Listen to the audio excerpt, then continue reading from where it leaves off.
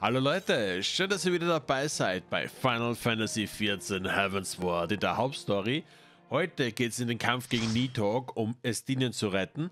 Wenn euch mein Content gefällt, dann lasst doch ein Abo und Like da, wäre echt super. Und jetzt genug geschwafelt, los geht's, der letzte Schicksalsweg.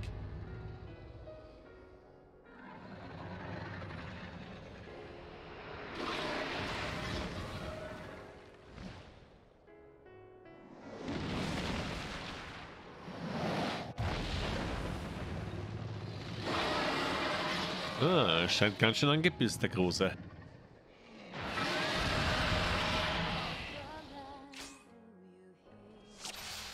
So, und da geht der Fight los.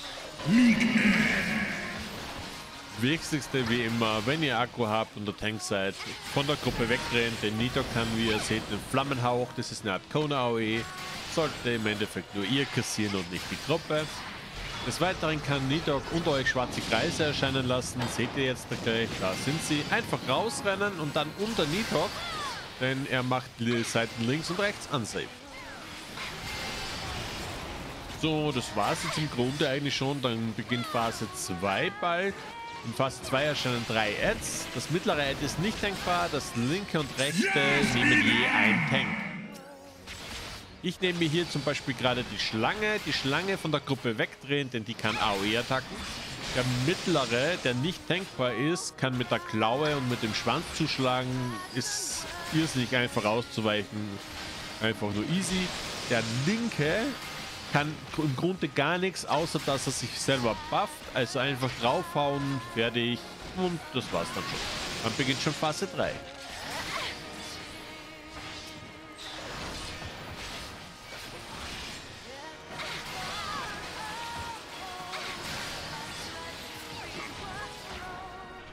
So. Da beginnt Phase 3. Nido verwandelt sich nun in einen Dragoon. Gleiche Prinzip wie immer.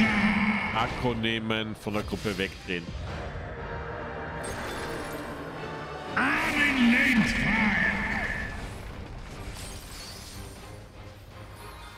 Nido kann einen Line-In-Angriff, also sprich, das ist so eine Bing groß, eine gerade Linie. Da müsst ihr einfach nur rausrennen, dann werdet ihr keinen Schaden passieren.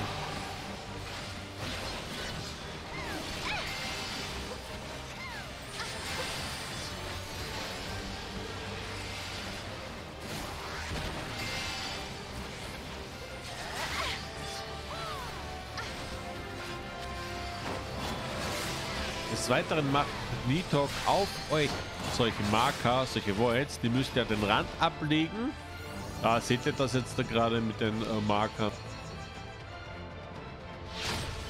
Das Wichtigste ist, einer der Marker explodiert. Von dem solltet ihr so weit wie möglich logischerweise weg.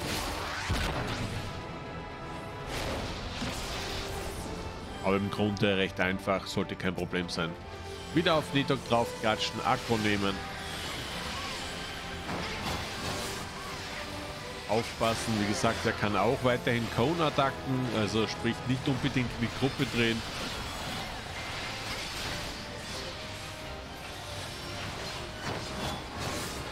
Jetzt werden die Marker nachher gleich zweimal kommen. Immer wieder kriegen es drei Leute. Gleich kriegen es jetzt nochmal drei Leute.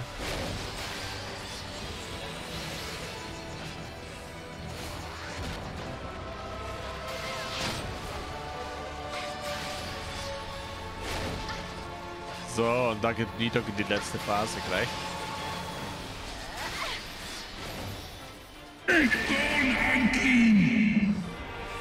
Jetzt müsst ihr an den Rand schauen. Irgendwo erscheint Nidok. Und da haucht er und macht die Hälfte der Arena unsafe. Währenddessen kommen schwarze Wolz unter euch, wo ihr einfach nur rausrennen müsst. So, Nidok klatscht herunter. Wieder ganz wichtig, von der Gruppe wegdrehen. Wenn der Marker kommt, in der Gruppe stehen, alle sollten in der Gruppe stehen, denn er macht so einen Akmoren, das sind mehrere Schläge auf einmal, wie ihr seht. Und je mehr Leute drinstehen, desto weniger Schaden macht. Die Kugeln, wenn sie explodieren, machen sozusagen einen Plus. einfach nicht in dieser Plus-Mechanik drinstehen. Also die Kugeln explodieren wie im Bomberman. Schwarze Wald kennt ihr jetzt, denke ich mal, eh schon. Ihr müsst jetzt aufpassen, wenn es jetzt so weitergehen würde, müsst ihr in die Mitte. Dann steht ihr safe und dann müsst ihr gleich nach außen, denn dann macht er die Mitte unsafe. Aber wie ihr seht, der ist so schnell tot, also kein Problem. So, das war's mit dem Fight von Nitok.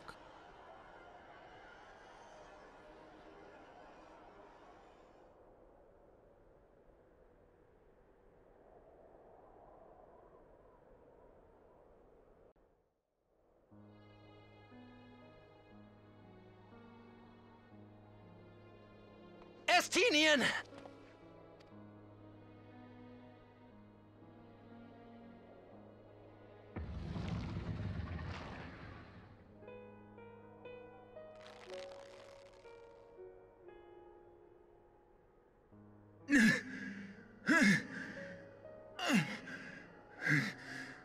Das kann nicht sein. Ihr könnt mich nicht besiegen. Ich bin ein hoher Drache.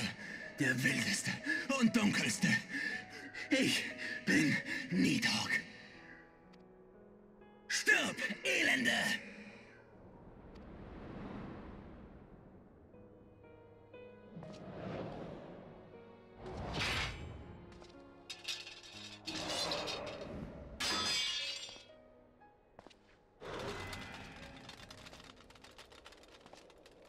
Nein, Drache!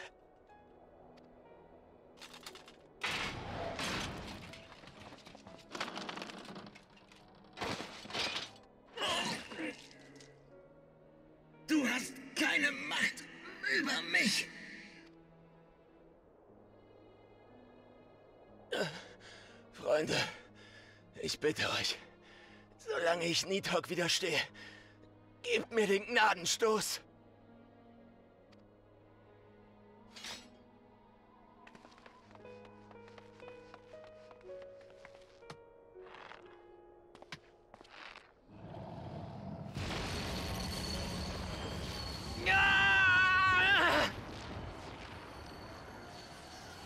Lasst. Es hat keinen Zweck. Erfüllt meinen letzten Wunsch. Tötet den Drachen. Niemals! Wir geben dich nicht auf!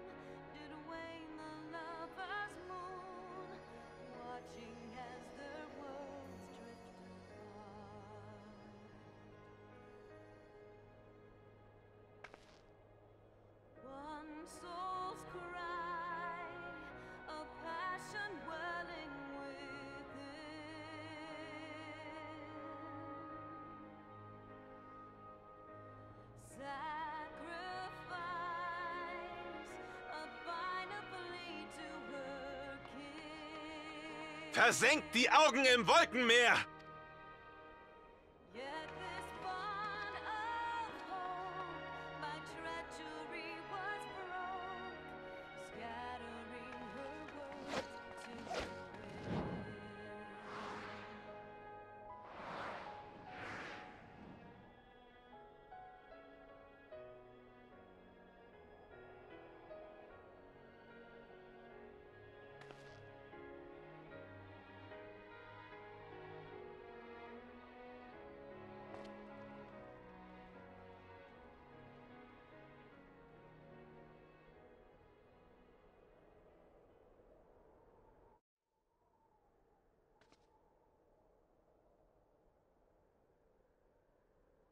Er atmet noch. Estinien, mein Freund. Lucia, die Heiler sollen sich bereithalten. Zu Befehl.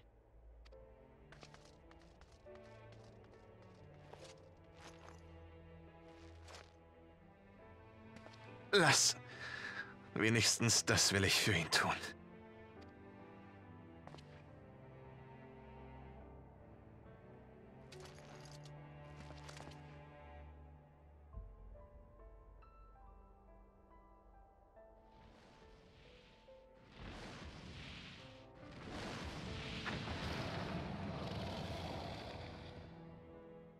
Nidoks Schatten ist hinweggenommen und seine Drachenschar hat sich zurückgezogen.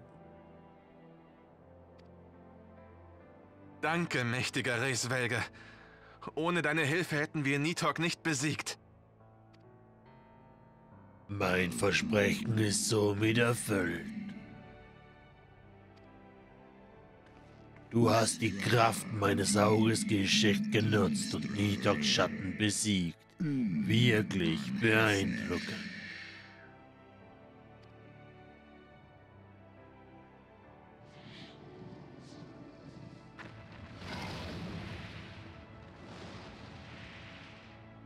Ich hoffe, euer Freund wird sich bald erholen. Lebt wohl, Kurzlebige.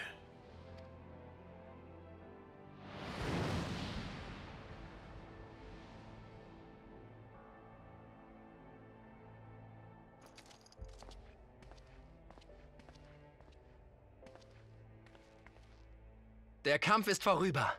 Jetzt bleibt nur noch zu hoffen, dass Estinien überlebt.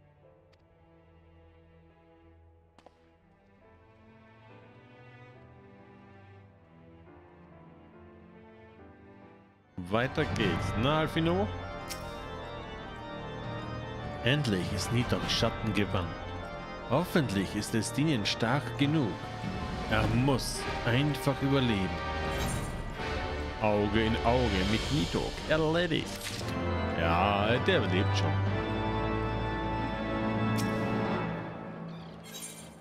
Estiniens Wohlbefinden. Historia, du hast tatsächlich das Unvorstellbare geschafft. Du hast Nidok besiegt und du bist nicht nur siegreich, sondern auch lebendig aus dem Kampf hervorgegangen. Ich könnte kaum erleichterter sein. Ohne dich wäre Estinien verloren gewesen. Allein hätte ich ihm niemals Nidoks Augen entreißen können. Jetzt mache ich mir nur noch Sorgen, ob Estinien die Loslösung von Nidoks Geist überleben wird. Kommst du mit zu Lucia in die Kongregation der Tempelritter? Ich will mich bei ihr nach Estiniens Zustand erkundigen. Klar, Alfino, ich komme natürlich mit. Ah, sind wir doch nicht so. So.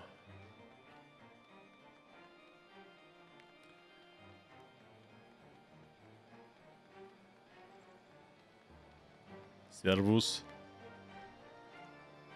Lucia, ups, da ist sie ja schon. Historia, Alfino, ihr habt Ishgard vor dem Untergang bewahrt und dafür bin ich euch unendlich dankbar. Jetzt und immer da. Mein Beitrag zur Rettung war geradezu bescheiden. Der Ruhm gebührt hauptsächlich Historia für ihren Sieg über Nitok und Estinien für seinen eisernen Willen. Wir sind gekommen, um uns nach Estiniens Zustand zu erkundigen. Wie geht es ihm? Nun ja, er wurde in unser Lazarett gebracht, wo sich Abel, der oberste Hospitalidär, persönlich um ihn kümmert. Er lebt, ist aber noch bewusstlos. Abel vermutet, dass Estinien unter den Nachwirkungen der Gedankenkontrolle durch Nidok leidet. Es gibt Hoffnung, aber die Genesung braucht Zeit. Bitte geduldet euch, wenn ihr mögt. Könnt ihr im Anwesen der Fonton warten. A aber... Nur keine Sorge, Großmeister Emmerich weicht nicht von Estiniens Seite. Ich werde euch Bescheid sagen, sobald Estinien erwacht.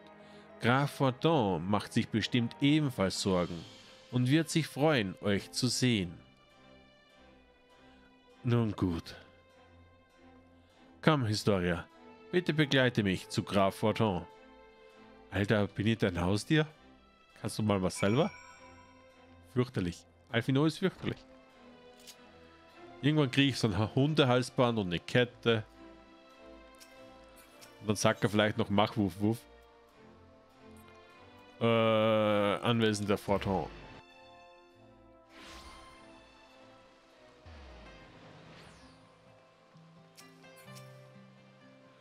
Willkommen zurück. Begehrt ihr Einlass in das Anwesen? Yep.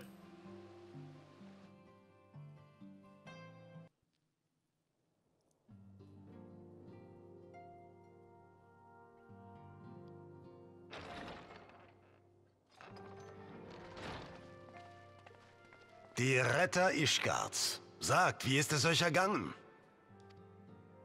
Es stand auf Messers Schneide. Die Kriegerin des Lichts hat Nitok bezwungen. Doch es war die Erinnerung an unsere gefallenen Freunde, die uns am Ende die Kraft gab, Estinien zu befreien.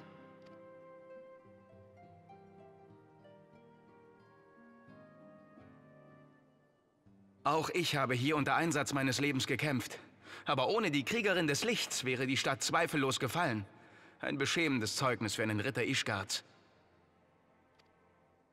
Nimm es nicht so schwer. Nicht jeder von uns ist dazu auserkoren, ein Held zu sein. Wir sollten froh sein, dass die Kriegerin des Lichts zur Stelle war, um Ishgard zu retten.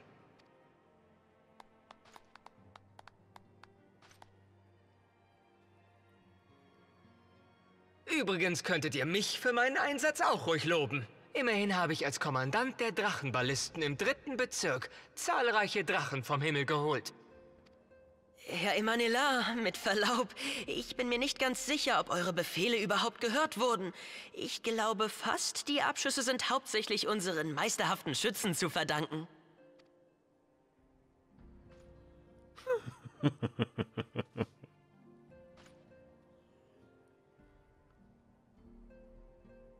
Ja, Emanuelins Verdienste können wir später noch ausführlich diskutieren. Auf jeden Fall danke ich euch allen für euren Einsatz. Ich habe Gästezimmer vorbereiten lassen, in denen ihr euch ausruhen könnt. Hab Dank, Graf Fortin. Ich weiß eure Gastfreundschaft sehr zu schätzen, aber zuerst möchte ich der Kongregation der Tempelritter noch einen Besuch abstatten. Bitte entschuldigt mich.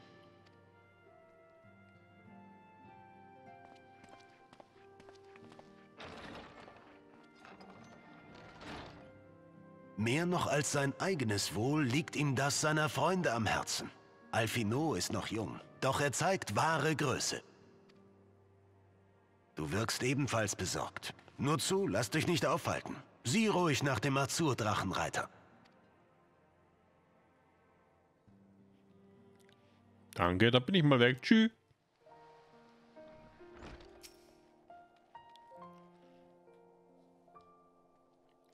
Hallo, Historia. Suchst du Alfino? Er wacht über Estinien, damit ich mir die Beine vertreten kann. Ich wollte, dass sich Alfino erst selbst ausruht, aber er ließ sich nicht davon abbringen. Der Gute hat einiges durchgestanden und muss ziemlich erschöpft sein. Aber er hat nichts anderes als Estiniens Genesung im Sinn. Estinien kann von Glück reden, euch als Freunde zu haben. Estiniens Wohlbefinden erledigt. So. Das Ende eines langen Weges.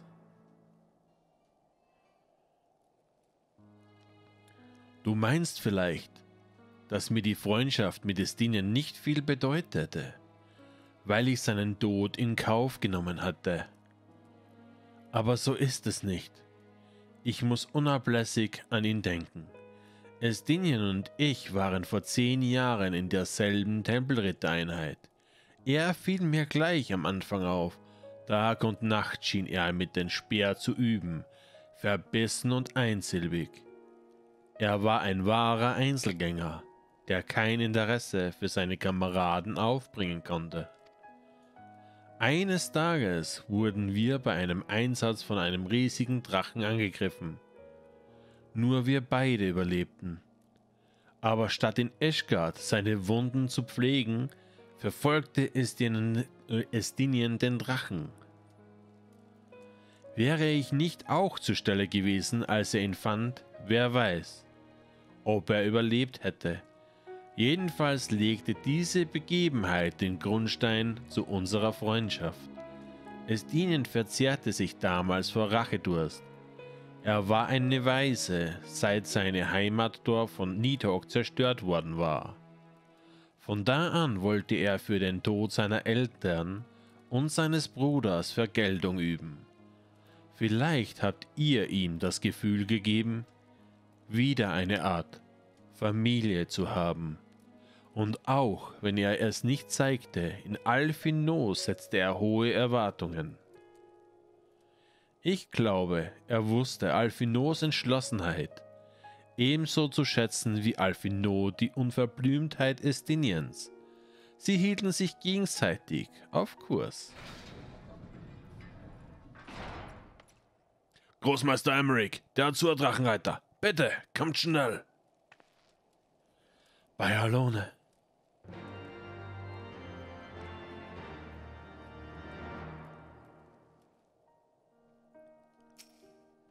Schnell, Historia, wir müssen zu ihm. Große Ereignisse bahnen sich an. Bitte stell sicher, dass du genug Zeit hast, dir den folgenden Szenen anzusehen. Das Krankenzimmer betreten? Ja.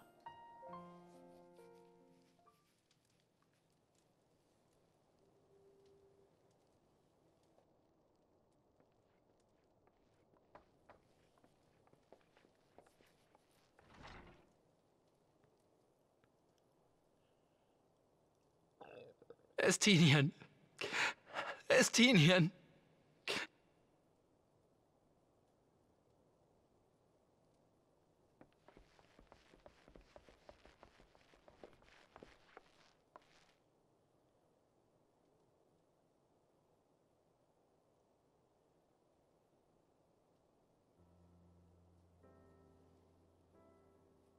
Hör doch schon auf mit dem Geflänne. Es, es, es tut mir leid, ich, ich kann einfach nicht. Ich bin nur so erleichtert.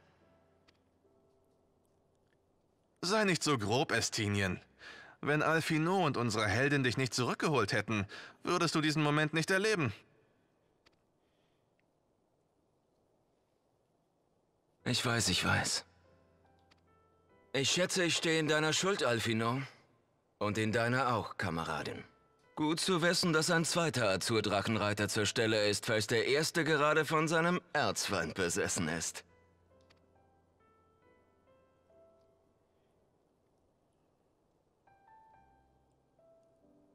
Estinien, bitte vergib mir. Ich war bereit, dich zu opfern. Dich, meinen Freund und Vertrauten. Lass, Emmerich. Du hast es für das Volk von Ishgard getan. Das wissen wir beide. Gerade weil du in jeder Lage objektiv bleibst, habe ich immer an dich geglaubt und bin dir gefolgt. Ich habe nie erwartet, dass du mich rettest. Aber Überleben ist nun mal meine Spezialität. Also fangen wir jetzt nicht auch noch an zu heulen wie der Kleine. Ich habe nur etwas feuchte Augen.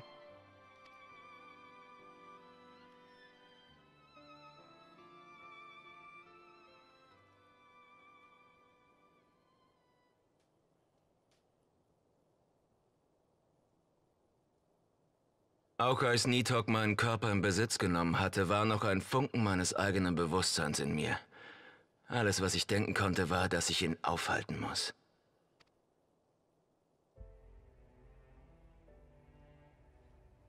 Aber ich habe auch gespürt, wie tief schwarz seine Seele war. Den Schmerz über den Mord an seiner Schwester und den unstillbaren Durst nach Rache. Eigentlich fühlte er genau wie ich. So wie ich seit dem Tag fühlte, als er mir meine Familie raubte.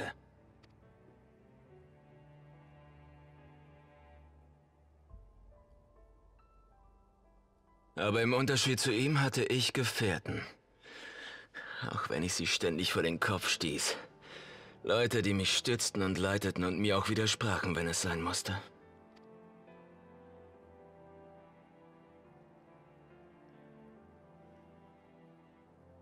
Nitok hatte niemanden, der ihn hätte aufhalten können. Eine einsame Existenz.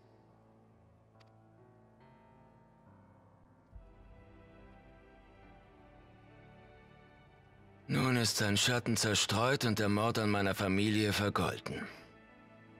Aber ich fühle keine Freude. Mein Herz bleibt schwer.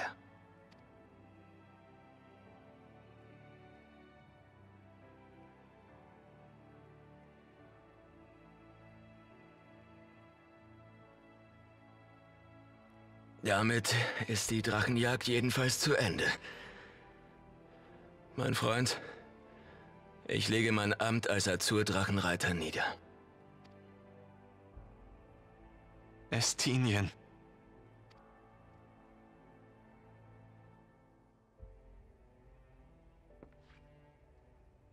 Ich denke, ihr habt ihn für heute genug strapaziert.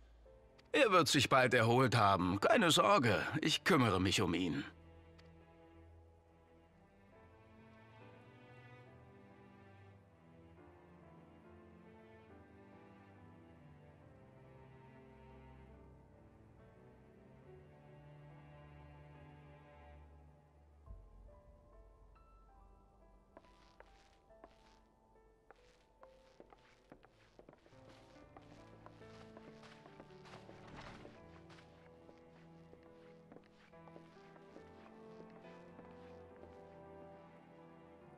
Ruh dich aus, mein Freund. Wir sind beide am Ende eines langen Weges angelangt.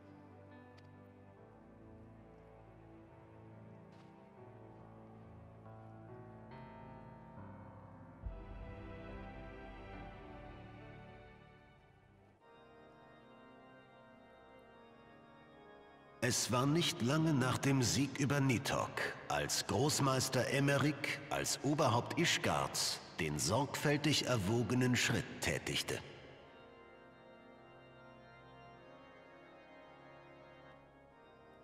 Über ein Jahrtausend lang waren die Geschicke der heiligen Stadt von ihren Päpsten gelenkt worden. Doch dies sollte nun ein Ende haben. Emmerich trennte den Staat von der Religion und verkündete feierlich, dass Ischgard fortan von Vertretern aller Bürger regiert werden sollte. Von würdigen Vertretern des Adels und Vertretern des Volks.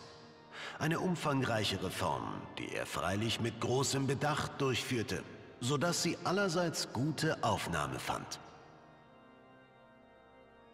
Er selbst legte sein Amt als Übergangsregent nieder. Doch schon am selben Tag schlug man ihn als ersten Vorsitzenden des gerade geschaffenen Oberhauses vor.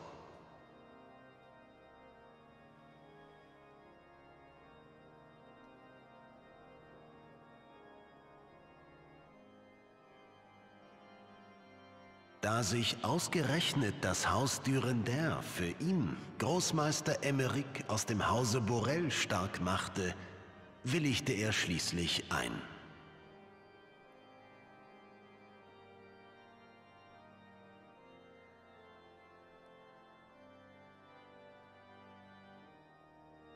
Nun endlich hatte der Wind der Veränderung Ischgard wirklich erfasst.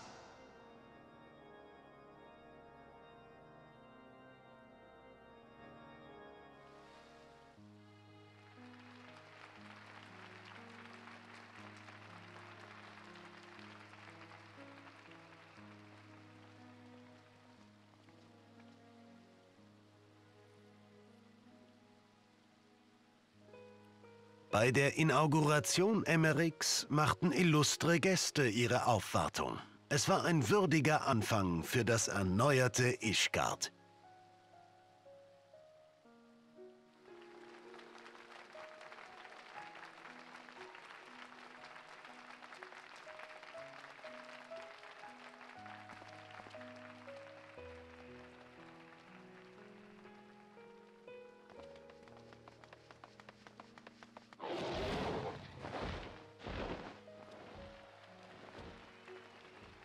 Staunend sah die Menge, wie er auf einem Drachen durch die Lüfte glitt, statt gegen ihn die Lanze zu erheben.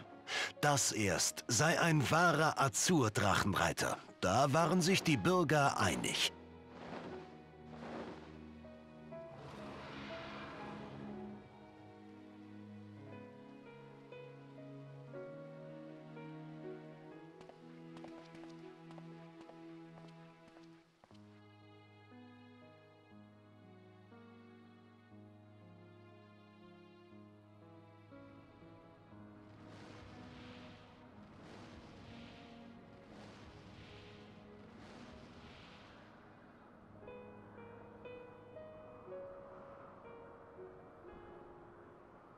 Die Wellen des Krieges verebbten nun.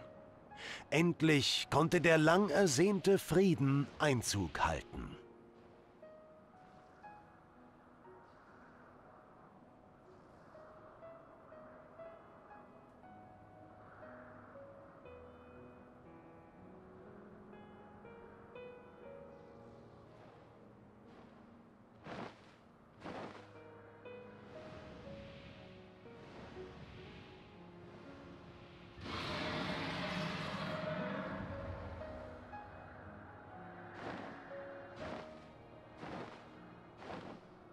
Aus den Memorien von Graf Edmond Fordon, letztes Kapitel.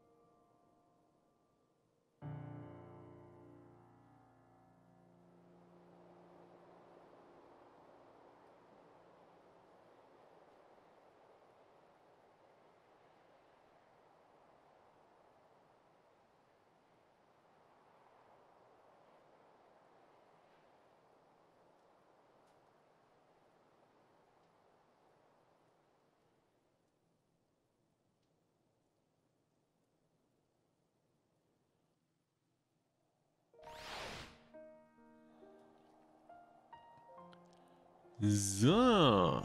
Und das war's im Grunde mit der Hauptstory von Heavensward. Wir gehen jetzt sozusagen in den zweiten Teil rein. Ich hoffe, ihr hattet heute Bock drauf. Ich wünsche euch was. Wir sehen uns morgen wieder. Bis dahin. Ciao.